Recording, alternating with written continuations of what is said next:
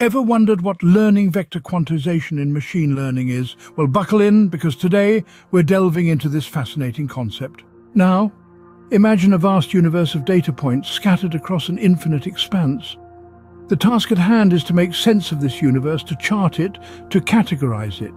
This is where learning vector quantization, or LVQ, comes into play. LVQ is a type of artificial neural network algorithm, but unlike other neural network algorithms, it's a prototype-based, supervised learning method. Prototype-based, you may ask? Well, it means that it uses representative examples or prototypes of the classes found in the training set to classify new data points. To understand LVQ, first we need to understand vectors. In the world of machine learning, a vector is a mathematical object with both direction and length. It's used to represent data points in space.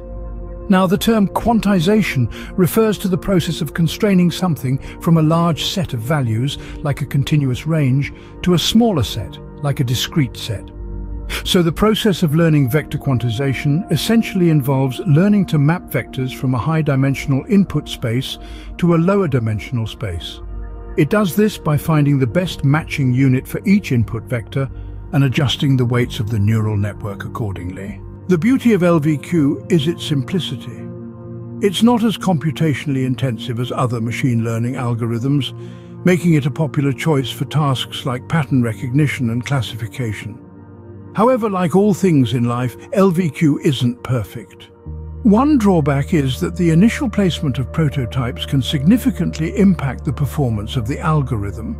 It can also be sensitive to the choice of learning rate and the ordering of the training data.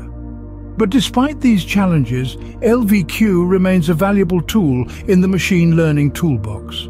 It's a testament to the power of simplicity in a field often associated with complexity. So, to recap, learning vector quantization is a prototype-based supervised learning method.